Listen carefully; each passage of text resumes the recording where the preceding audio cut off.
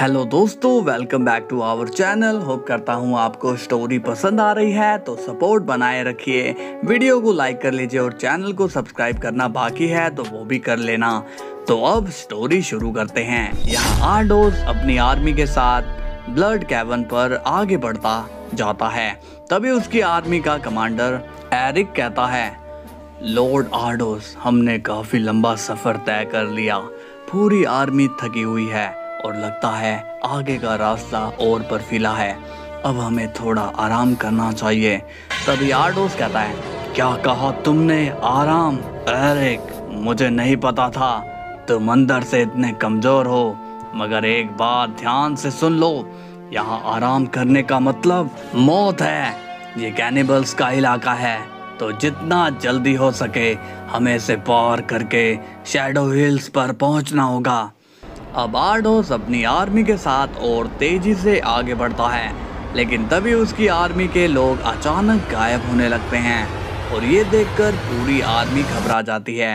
तभी आर्डोस कहता है, लगता है वो नींद से जाग चुके हैं। सभी लड़ने के लिए तैयार हो जाओ।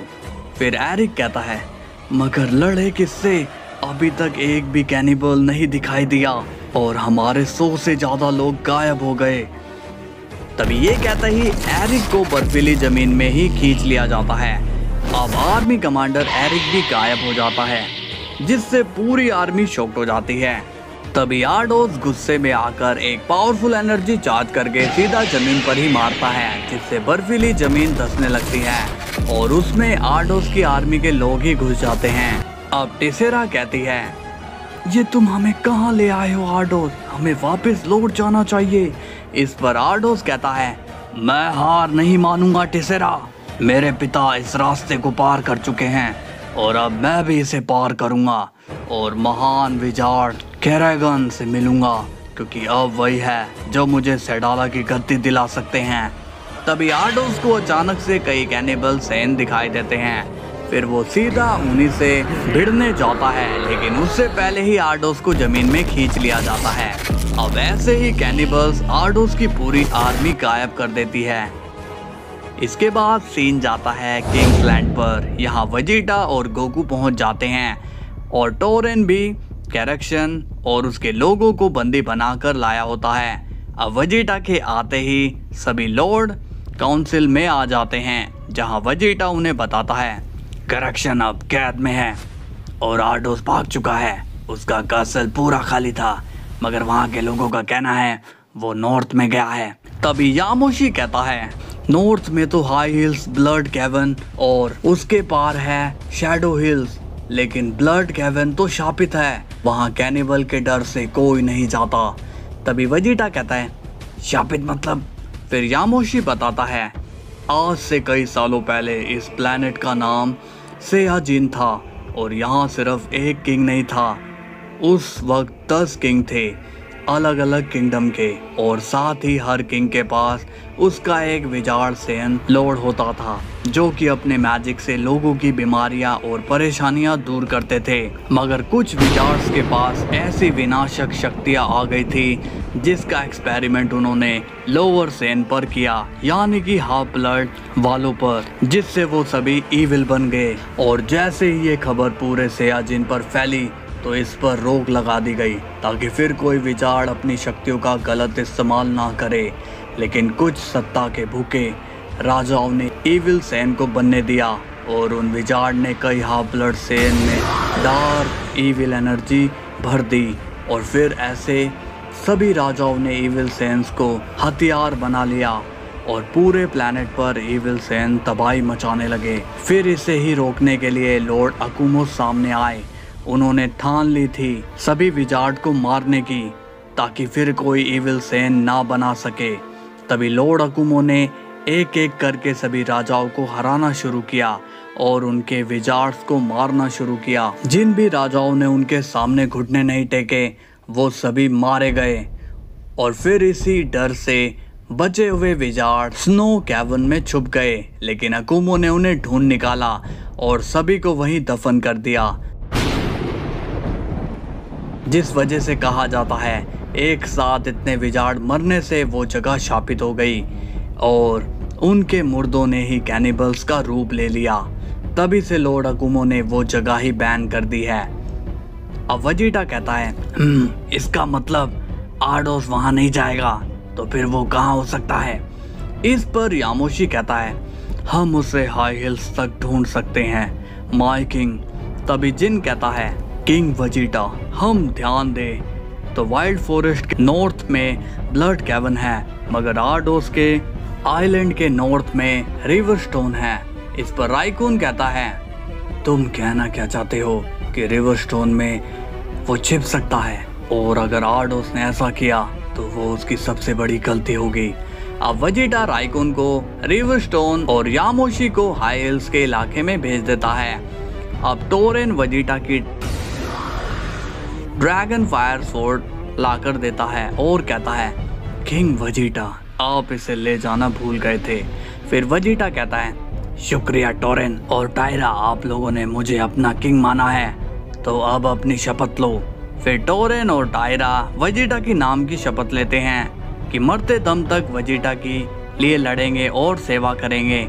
इसके बाद सीन जाता है डिमोरा पर। यहाँ डिमोरा का स्पेल रेडी हो जाता है और वो बेबी गोरेन पर वो स्पेल डाल देता है, जिससे थोड़ी ही देर में बेबी गोरेन काफ़ी बड़ा हो जाता है, जिसे देखकर जायकोर काफ़ी खुश होता है।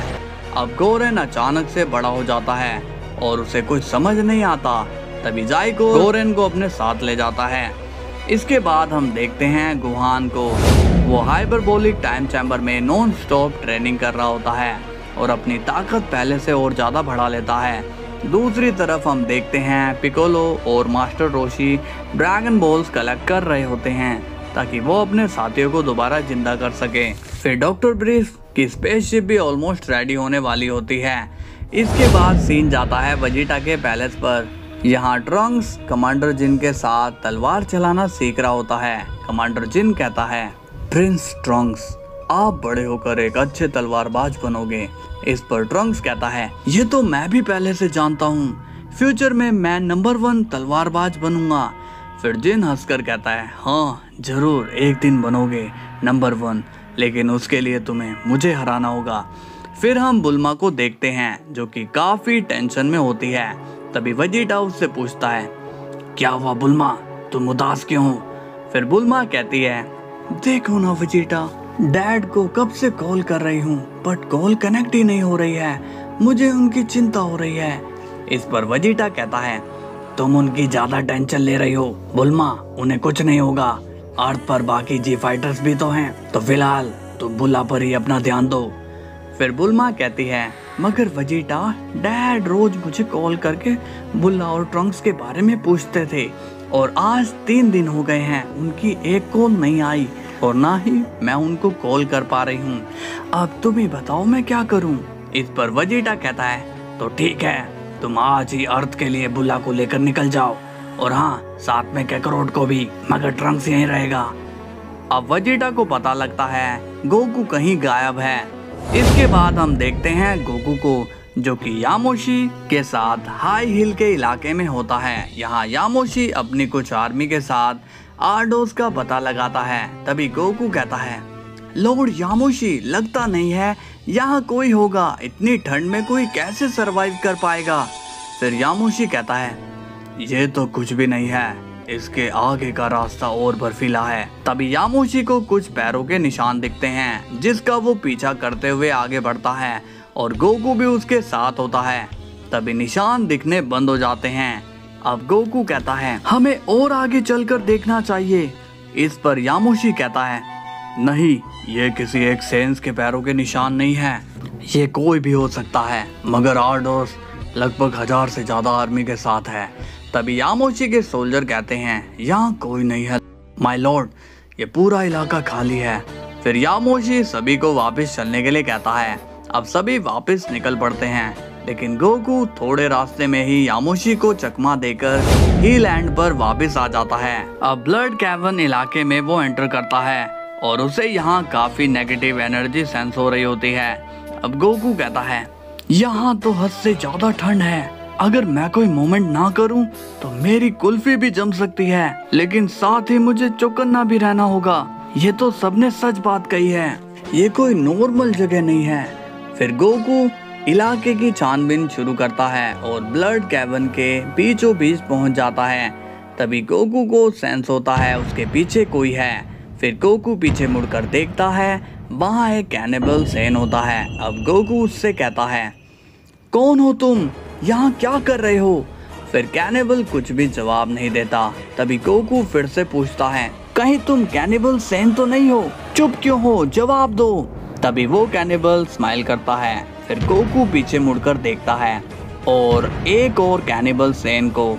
फिर गोकू कहता है ओ अच्छा तो तुम्हें फाइट करनी है। वैसे फाइट के लिए मैं कब से तरस रहा हूँ? तो चलो, थोड़ा मज़ा कर ही लिया जाए। तभी गोकू देखता है, आसपास और कैनिबल्स आ जाते हैं। इस पर गोकू कहता है तो तुम लोग पूरी तैयारी से आए हो, फिर तो मुझे अल्ट्रॉन स्टिंग ही यूज़ करनी पड़ेगी। तभी गोकू अल्ट्रॉन स्टिंग में ट्रांसफॉर्म करने की कोशिश करता है, लेकिन वो ट्रांसफॉर्म ही नहीं हो पाता। अब सभी कैनिबल्स और ज़्यादा स्माइल करने लगते हैं। फिर गोकू कहता है, ये क्या हो रहा है?